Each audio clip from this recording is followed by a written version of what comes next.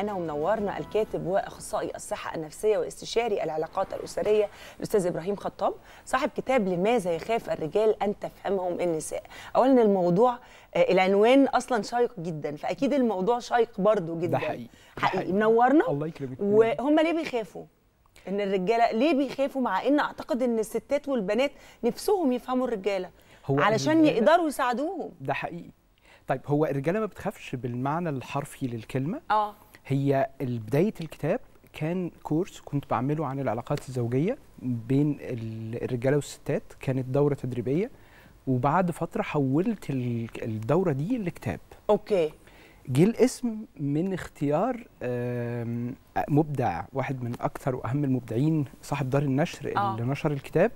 فكان عندنا مقترحات كتير وهو بدأ يجمع مجموعة من الاقتراحات وقال الاسم ده. الاسم ده.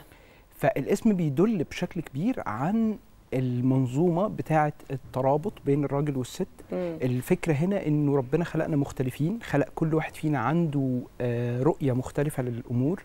الراجل مختلف تماما في تكوينه النفسي عن الست.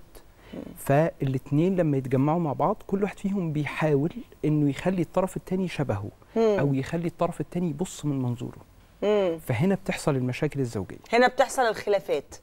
ده أصل المشاكل الزوجية آه انه ربنا خلقنا مختلفين تماما ده. طبيعي طبعا إحنا فاهمين ده أكيد الاختلاف ده آه. إحنا بنحاول نحوله في آه. الكتاب من كونه مشكلة لكونه حاجة تساعدنا ان نبني إن إحنا وننمي نتخطى الاختلافات. دي